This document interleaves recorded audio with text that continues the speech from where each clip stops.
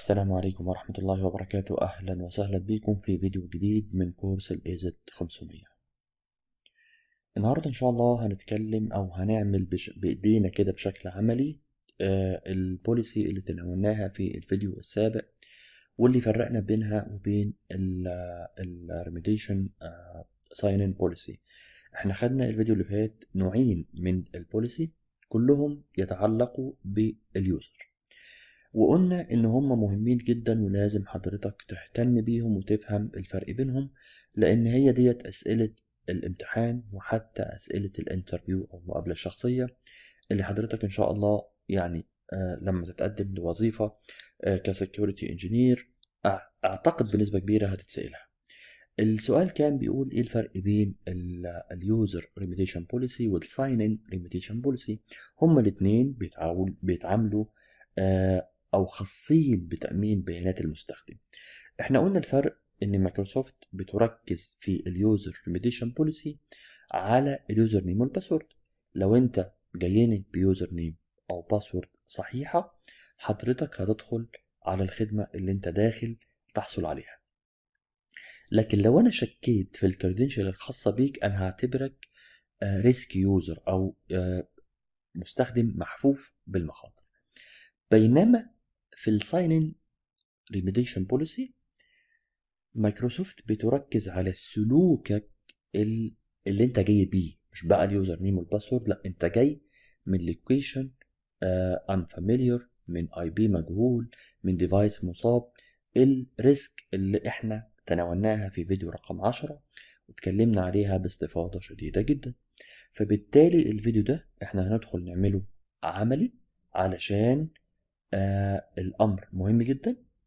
وبحب أنوه في بداية الفيديو إنه حضرتك لازم تكون مركز بنسبة كبيرة جدا. يعني لو أنت مركز خمسين في المية بنصحك إن أنت تقفل الفيديو وتيجي وقت تكون مركز بنسبة تمانين لتسعين في المية أو حتى مية في المية علشان تفهم أو تستوعب الأمر ويبقى بالنسبة لك آه يعني آه متغطي بشكل كبير. علشان نفهم قبل ما ندخل نشتغل بإيدينا تعالوا نقول إن أنا عندي يوزر رايح يحصل على خدمة من ال portal مثلا. أي خدمة بقى سواء كانت website مثلا application container storage account يعني any kind ال user ده لو جاي مثلا من location أو هو دايما بيدخل من موقع متعارف عليه. يعني خلينا نقول مثلا لو أنت موجود في السعودية زي حالاتي كده هيبقى بشكل دوري أو بشكل يومي معتاد تسجيل الدخول ال user ده من المنطقة ديت. فجأة بقى وبدون مقدمات مايكروسوفت اكتشفت إن هو بيسجل دخول من كندا. هنا إحنا قلنا إن مايكروسوفت هتعتبر ده risk. وهتروح سريعا حط عليه علامة كده ومسجلاه في ال event risk اللي إحنا اتكلمنا عليه. ومش بس كده ده هتطلع كمان report لحضرتك ك security engineer وهتعمل لك notification في الايميل وحرفيا هتبهدل الدنيا بمجرد ما تكتشف إن ال user ده جاي بخطر. علشان نشوف الموضوع ده عملي تعالى كده نروح سريعا على ال portal بتاعتنا ونروح على ال Azure default directory الخاصة بينا أو ال Azure Active Directory ونروح منها على ال security من ال security إحنا هنستعرض ال identity protection هنلاقي ال two policy اللي إحنا خدناهم بشكل نظري فرقنا بينهم في آه الفيديو اللي فات.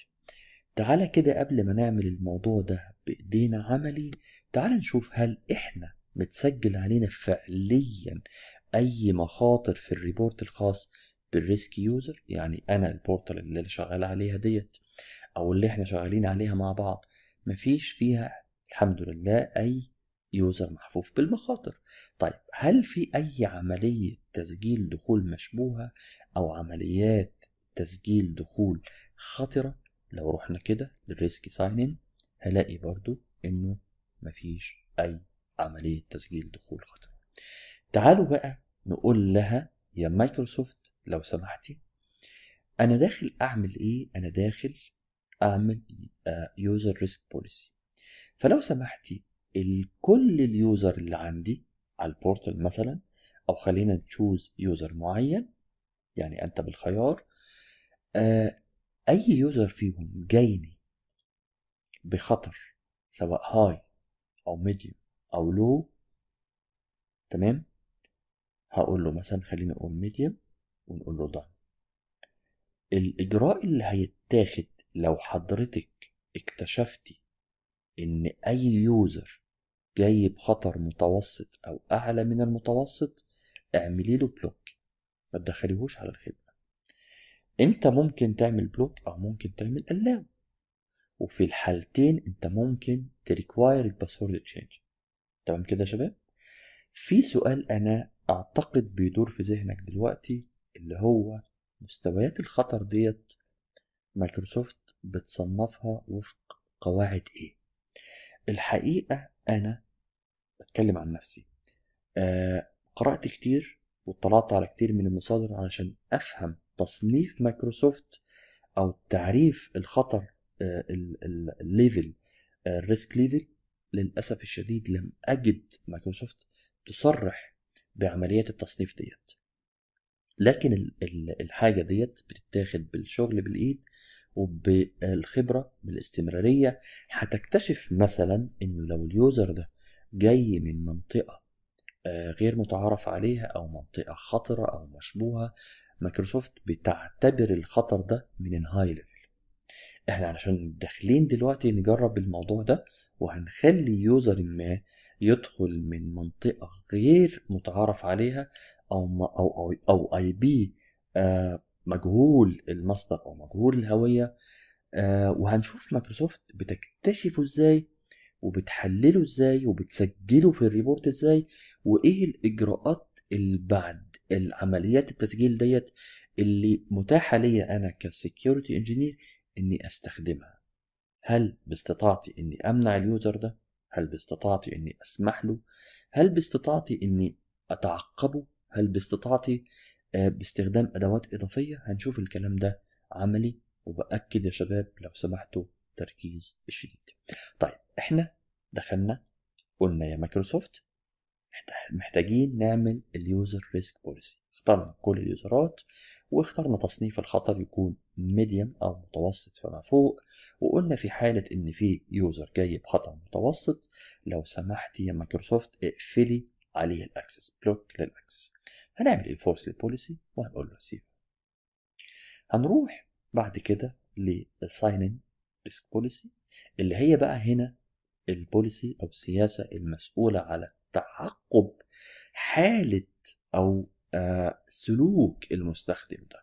إحنا قلنا إن ال policy ديت هي مسؤولة عن تأمين ال credential username password بينما ال policy ديت هي اللي بتعمل عملية detection لسلوك المستخدم نفسه. هل هو جاي من IP مختلف من device مصاب أو من منطقة غير متعارف عليها؟ الكلام ده إحنا قلناه في فيديو ما قبل السابق بشكل مستفيض ومركز جدا. فهقول هنا يا مايكروسوفت إحنا داخلين. لو سمحتي تعالوا بقى نختار مش نقول user بقى علشان نبقى دقيقين. خلينا ن select user بعينه.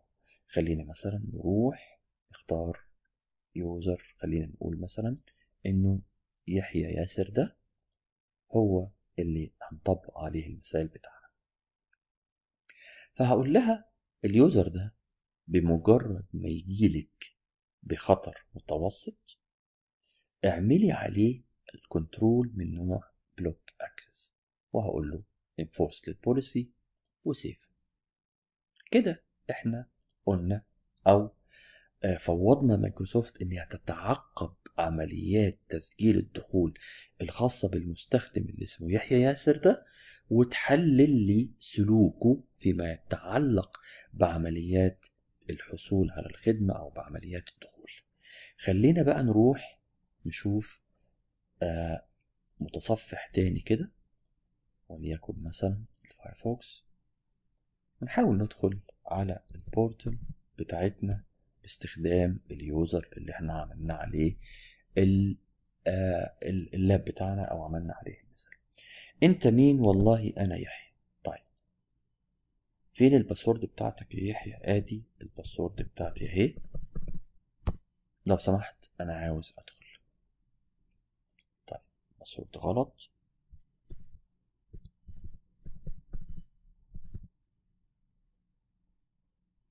okay. علشان مطبقين ال MFA على كل ال user فهو هنا قال له إنه required الكلام ده معروف. هقول له skip فهيبدأ يدخلني مفيش أي مشاكل على الإطلاق. ليه؟ هو إحنا مش طبقنا policy هقول لك أيوه إحنا طبقنا policy بتقول يا مايكروسوفت تتبعي ال user ده لو فيه نشاط خطر أو نشاط مشبوه. ولحد دلوقتي ما حصلش أي نشاط خطر أو أي نشاط مشبوه. علشان نتأكد خلينا نرجع لل portal تاني ونروح لل risk user. مفيش أي risk user. طيب risk sign-in. مفيش أي risk sign-in. طيب خلينا نروح لل user اللي إحنا اخترناه. لو قلنا كده ال user اللي عندي. اخترنا. يحيى ده. ونشوف عمليات تسجيل الدخول اللي تمت من خلاله. هنلاقي عملية أهي. كان موقعها الرياض. عمليات كلها يعني قانونية رسمية مفيش أي مشكلة فيها. ال IP سليم ال location سليم. فبالتالي هنا وحتى العملية success بالتالي هنا مفيش أي نشاط مشبوه. علشان نخلق مع بعض نشاط مشبوه إحنا لازم نروح نعمل كده. وندخل بقى من التور. مش إحنا security engineer وعارفين الخبايا والأسرار بتاع security فلابد إن إحنا ندخل ب browser اللي هو التور. طيب هنروح لل browser ده واللي معروف عنه إن هو بيغير في بيانات الدخول فيما يتعلق بال location وال IP بيخليها بيانات يعني مزيفة أو آي بي مجهول. هقول له لو سمحت أنا محتاج أدخل على البورتال الخاصة بأشر.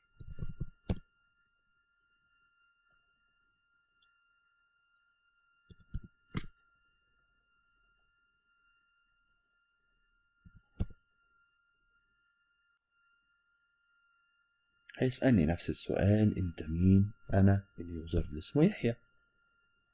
طيب ال password بتاعك إيه؟ آدي ال password بتاعي أهو. نركز بقى علشان نشوف إيه اللي هيحصل. هيقول لي آه أنت للأسف block ليه؟ ده أنا لسه داخل من شوية. هيقول لي والله أنا اكتشفت حاجة كده في الغالب أنت مش بتعملها. إما إن أنت جاي من new location مش familiar أو unfamiliar عندي أو device مشبوه أو application مشبوه. فلو سمحت أنا عملت لك block اتصل بقى بال administrator بتاعك. تعالوا بقى كده سريعا نروح على ال portal بتاعتنا ونروح على ال default directory الخاصة بينا ومنها هنروح على ال security وسريعا هنروح على ال risk detection فهلاقي آه شايفين يا شباب؟ ده هنا طلع لي إن يحيى ده اللي جاي من ال IP ده ومن location فرانكفورت جاي ب IP ب IP آه مجهول. وال risk level بتاعه high لو دخلت كده هيبدأ يطلع لي information كتير عن عملية التسجيل اللي هو أو مايكروسوفت اعتبرتها خطر فقالت لي إيه؟ قالت لي ال IP ده أنا معرفوش. لأنه ال Tor ألفه من عنده.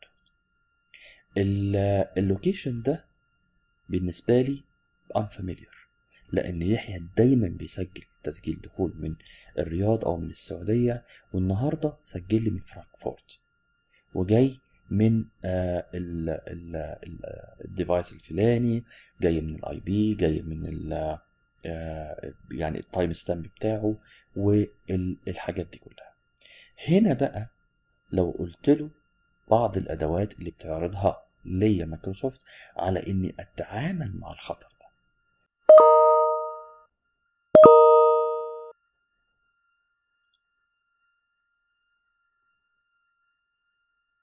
شايفين يا شباب؟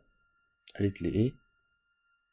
جاني كمان alert أو notification على ال mail عندي بيقول لي إنه في user معرض للخطر لو سمحت انت ك security engineer روح راجع ال report علشان تفهم.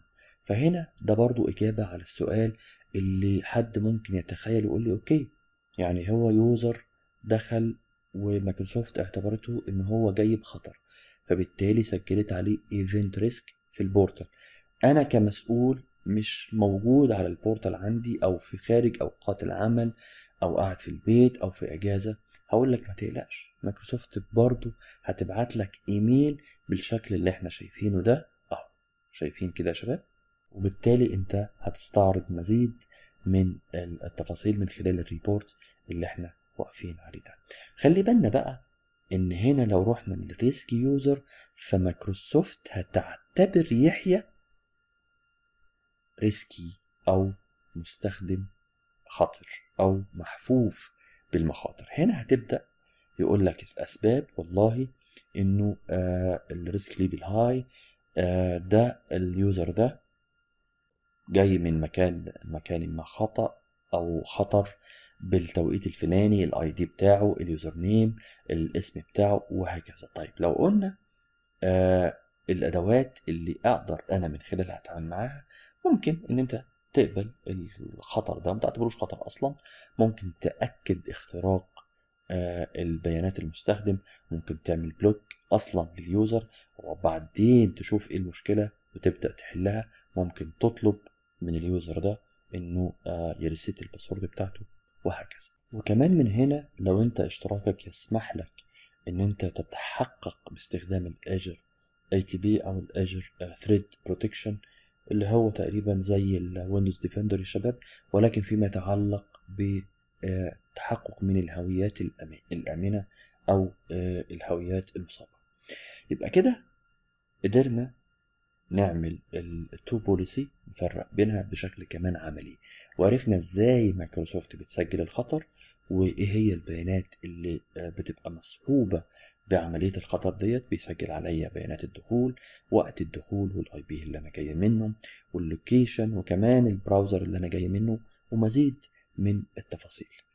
أتمنى يكون الفيديو ده آه وضح لك المفاهيم بشكل عملي وخلاك أو خلى الفكرة بالنسبة لك بتبقى مكتملة علشان يبقى الموضوع في ذهنك كامل الأركان.